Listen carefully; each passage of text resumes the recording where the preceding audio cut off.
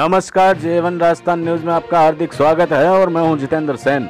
Corona core group व व्यापार मंडल बोरावड़ की बैठक आयोजित। कस्बे में सात दिन संपूर्ण लॉकडाउन रखने का लिया निर्णय। आवश्यक वस्तुओं की दुकानें रहेगी खुली। खबर नागौर ज़िले के बोरावड़ कस्बे से है, जहाँ लगातार हो रहे कोरोना पॉजिटिव मामले में इजाफे के बाद शुक्रवार को ग्राम पंचायत सभा भवन में कोरोना कोर ग्रुप व व्यापार मंडल की संयुक्त बैठक, पीओ राम सिंह नेत्रा की अध्यक्षता में आयोजित हुई। आयोजित बैठक में सर्वसम्मति से निर्णय लिया गया कि रविवार से कस्बे में सात दिन संपूर्ण लॉकडाउन रखा जाएगा, जिसमें आवश्यक सेवाओं की दुकानों को छोड़कर संपूर्ण बाज़ार सात दिन के लिए बंद रहेगा। बैठक में कस्बे के ज़ीरो मोबिलिटी क्षेत्रों में बैरिकेटिंग ग्राम पंचायत के सहयोग से करवाने का भी निर्णय लिया गया। कस्बे में पुलिस व्यवस्था हेतु मकराना डीवाईएसपी को लिखित में अवगत कराने हेतु सहमति हुई। साथ ही सभी दुकानदारों की सैंपलिंग करवाने का भी सर्वसम्मति से निर्णय लिया गया। आयोजित बैठक में बोरावट सरपंच मोहनलाल मेघवाल, उप सरपंच समीम खत्री, ग्राम विकास अधिकारी हिंदू चंद नवल, पटवारी संपत सिंह, डॉक्टर नेहा सिंह खींची एएनएम मुकेश कुमारी, रोज़गार सहायक सुभाष सेन, व्यापार मंडल अध्यक्ष मुक्तिराम अग्रवाल, सचिव जय सिंह कोटेचा वार्ड पंच गजेंद्र बोथरा, वार्ड पंच रवि जोशी, पंडित विमल पारिक, अशोक सिंगल, रोहित अग्रवाल, वार्ड पंच प्रकाश सोनगरा, नथमल लखारा, सलीम खान, राजेंद्र सुनाना, दिनेश सोनी, बाबूलाल प्रजापत सहित अन्य व्यापारीगण मौजूद रहे। बोरावर से जितेंद्र सेन की रिपोर्ट। सब अपनी तरफ़ से, मैं खुद देख रही हूँ, अपनी तरफ़ से पूरी कोशिश कर रहे हैं यहाँ पे। कोई भी अपनी कमी नहीं छोड़ रहा। और अपन लोग सब जिम्मेदार नागरिक हैं, अपन दूसरों को ये नहीं कह सकते कि वो लोग ताश खेल रहे हैं। वो आम लोग हैं, उनको समझ नहीं आता। तो अपना काम है अपन उन्हें जितना हो सके समझा सके, जितना हो सके अपन जितना कर सकते हैं, अपन अपने आप को जिम्मेदार नागरिक मानते हैं, अपन यहाँ बैठे हैं, इसका मतलब अपन उन लोगों से कुछ थोड़ा सा श्रेष्ठ है, सोच समझ में भी या फिर शिक्षित या कुछ भी मान लो आप। अपन उन सबसे बढ़िया है तो अपनी कोशिश ये रहनी चाहिए कि अपने होते हुए अपन उनको समझाएँ। जितना हो सके। और बाकी कोई नहीं समझ रहा, उसका तो देखो कुछ कर नहीं सकते, लेकिन अपन अपनी तरफ़ से कोशिश कर सकते हैं। एक दूसरे को बिल्कुल भी इस तरह से कटाक्ष मैं तो ये चाहती हूँ पर्सनली कि ना करा जाए।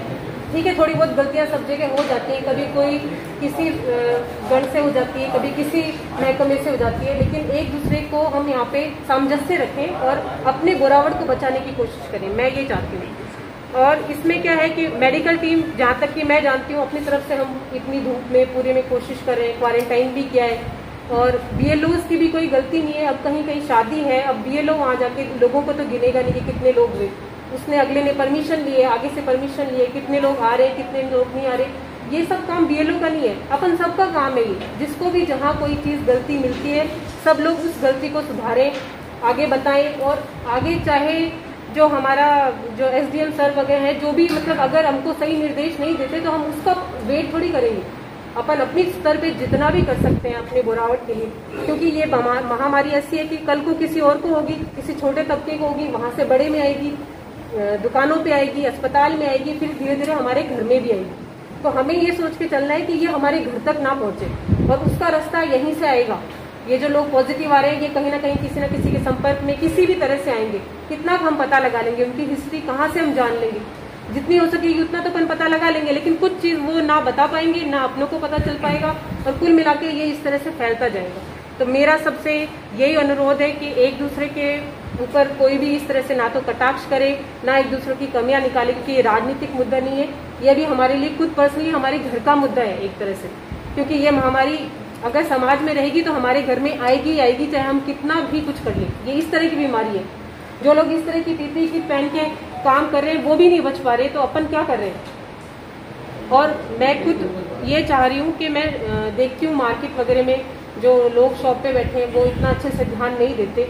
तो मेरी उनसे हाथ जोड़ के यही गुजारिश है कि आप अपना प्लीज़ ध्यान दीजिए। ये बीमारी इतनी ऐसी नहीं है जो हम सोच रहे हैं कि उसको है, इधर उतनी दूर है। मुंबई से विदेशों से ही हमारे देश में आ गई, देश से हमारे बिल्कुल कस्बे तक में आ गई है।